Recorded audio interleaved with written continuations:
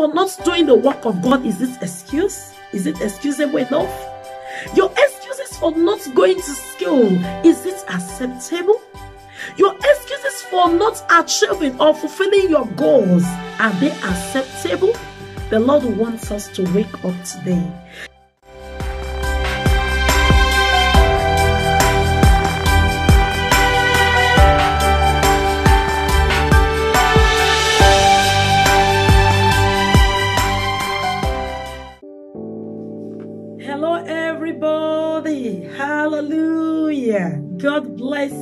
Beloved. How are we today?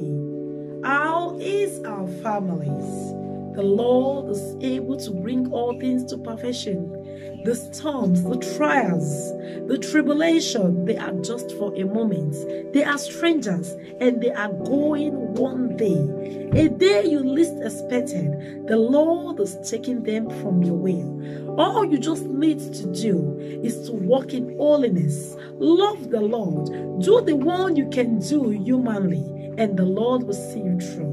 Welcome to our moments with the Lord. I still remain your friend and sister, Sister Isioma Uche. Can we please take a word of prayer? Father, we thank you for today. We're about to hear your word, oh God. Open our understandings, speak through me, Holy Ghost.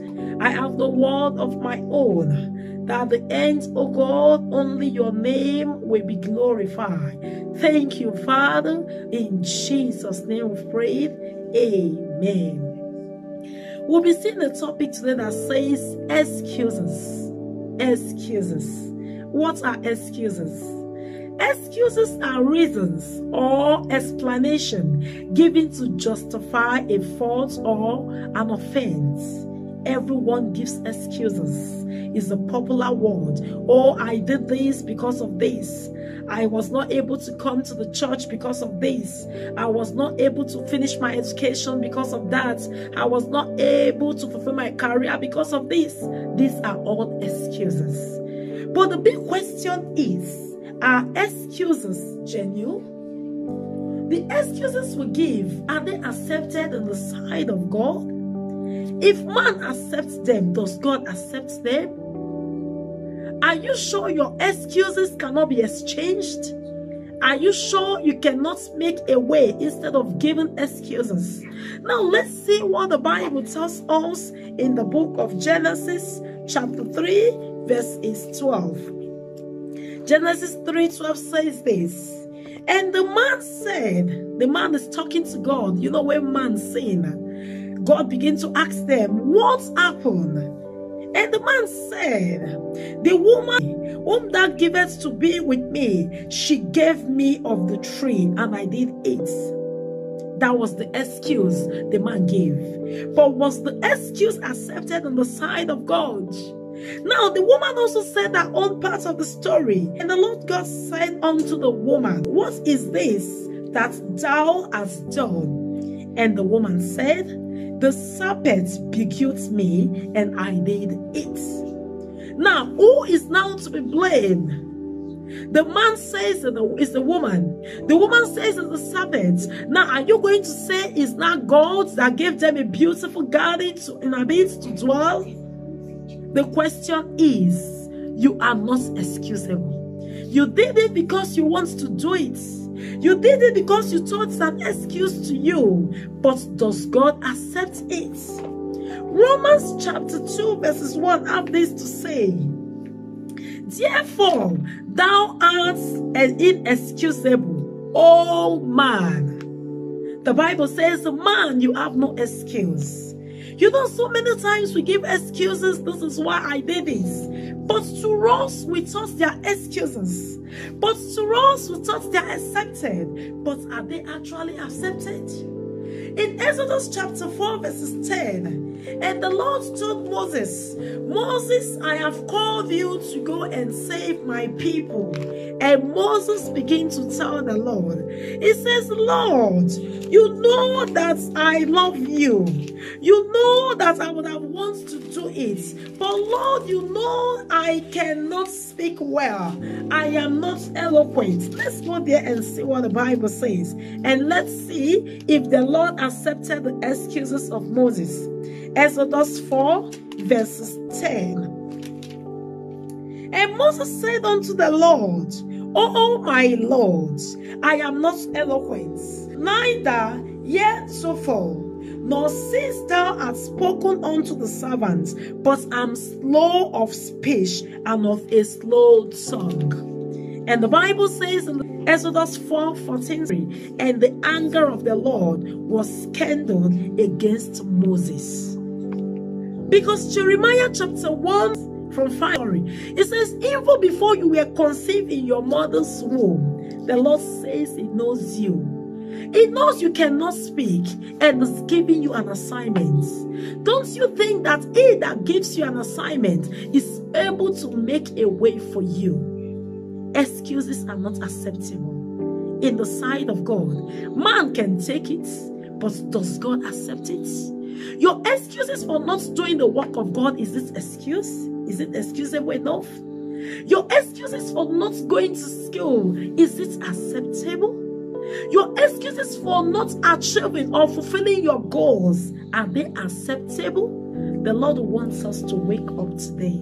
Now, how can we overcome excuses? One of the reasons to overcome excuses is determination. You must be determined. Proverbs 24 16 says, It says, A righteous man falls a lot of times. He said, But what happened? When the righteous fall, what happened? They still rise up. So falling is not a problem, but not wanting to rise up. He says, let's see, let's go there. In Proverbs chapter 24, verse 16. He said, For a just man falleth how many times? Seven times and rise up again, but the wicked shall fall into mischief. When we fall, the Lord wants us to rise up again. The next one is putting God first in all we do, in that endeavor, in that business, in that career, in that your pursuit, in your marriage, in the lives of your children. Put God first. Next, how can we overcome excuses? We have to overcome fear through the word of the Lord. Second Timothy 1 verse 7, the Lord says, He has not given unto us the spirit of fear, but of boldness, of sound mind, and of power. Taking responsibility for your mistakes do not blame other people for their for, for what happened to you. Like what Adam did. Adam said, Lord, it is the woman you gave to me. The woman said, It is the serpent that deceived me. When you make mistakes, accept them. Begin to work them out and ask for God's grace and mercy. Learn to pick up yourself from wherever we are falling. If you have failed, if we have failed yesterday, rise up. Never remain there. We can still make it if we take another step. You might take another step, you fail. Take another step, keep forging ahead. The Lord is able to see us through. Identifying our weaknesses and working on them. Stop comparing yourself with others. The Bible says that those that compare themselves with others, they are not wise. Most time we do such thing. But let's get this in our mind. We might have best mates, but nobody have what? Destiny mates or death mates. Nobody knows when he or she is going back. So let's stop comparing. I'm not saying we should not learn the good things that we see in people, but don't compare yourself because we all are different and we carry different graces. Stop words Stop what we should stop self-pity. Begin to pity yourself and sympathizing with yourself. Then the last for today is no procrastination. Stop procrastinating. A lot of us keep on procrastinating. I'm going to do it tomorrow. I'm going to do it next tomorrow. Why not do it now? Tomorrow might be too late. I just want to give us the opportunity of accepting Jesus into our lives. You can say this word of prayer with me. Say, Lord Jesus, I come before you today. I'm sorry for all the wrongs I've committed. Have mercy on me. Write my name in the book of life. I say bye bye to the works of the enemies. Thank you, my Father, for accepting me into your life. Thank you, Father, for calling me your own. In Jesus' name I've prayed. Amen. Thank you so much, and big thanks to everyone that will sharing the videos subscribing, liking. Do not fail to leave your comments and do not fail to share with your friends. God bless you. Still blessed and still safe. Bye.